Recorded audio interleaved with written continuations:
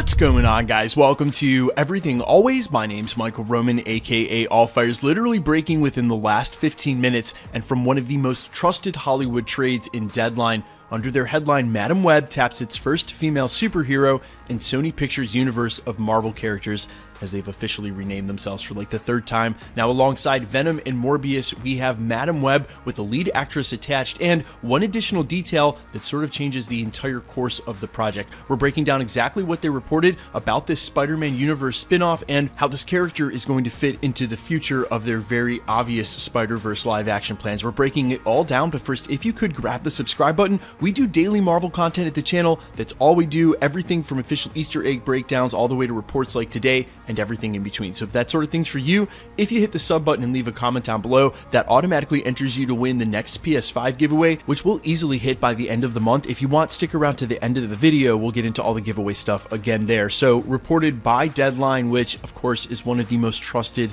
places we re-report on. We always tell you to take stuff that doesn't come from Marvel with a grain of salt, but when it comes to the Hollywood Reporter, Deadline, if they're reporting it like this, it's as good as confirmed. Dakota Johnson has been tapped to play Madame Web in yet another Spider Man spin off that still doesn't have Spider Man. This is what they had to say under exclusive. Quote Following the massive success of Spider Man No Way Home, Sony is looking to expand on its universe of Marvel characters as sources tell Deadline that Dakota Johnson is in talks to star in the studio's Madame Web movie. They also indicated already has a director and the screenplay has been penned. Now, as they indicate in this article, and is very important for this character, she has a disorder called myasthenia gravis, which means she's basically an invalid. It's a neuro disorder and she doesn't have control over her muscles, leaving her bedridden or in a wheelchair. Now, for that reason, Quote, this is what they said in the article. For that reason, quote, sources have stressed it's possible for the project to turn into something else because she doesn't actively fight any villains. Now, her clairvoyance may come in handy for connecting the Spider-Man and or the Spider-Verse that's just been scratched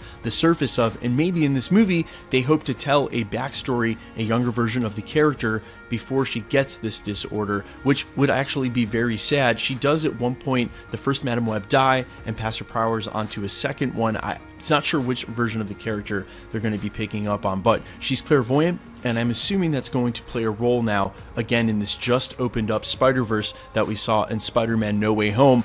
I'm actively anticipating them crossing Spider Man over sooner than later. We now have Morbius, which is yet to come out, a one or two part Kraven series, at least one Kraven film, and now Madame Web.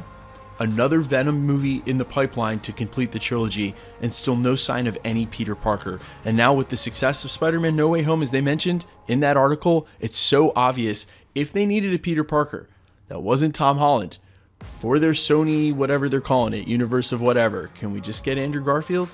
Can we just get Tobey Maguire? What is the deal? That seems perfect to me. I don't know.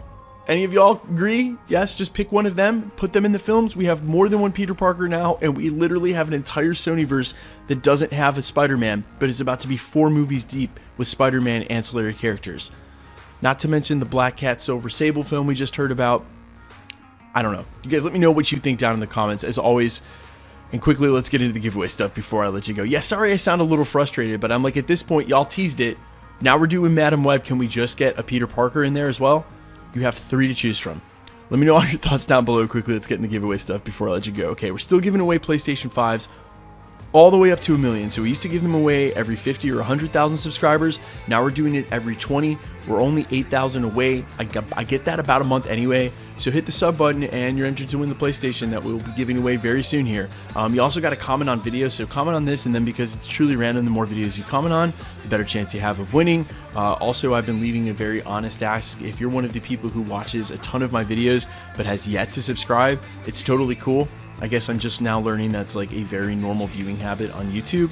But like if you've rocked with me for a while, if you were watching videos back in the day or you still, you know, check in, see what's going on in the MCU, if you haven't already, if you hit that sub button, I sincerely appreciate it. Like if half of the people who watch my channel every day hit it, I would uh, I would hit a million subscribers by the end of the month, which is cool. It's not gonna happen.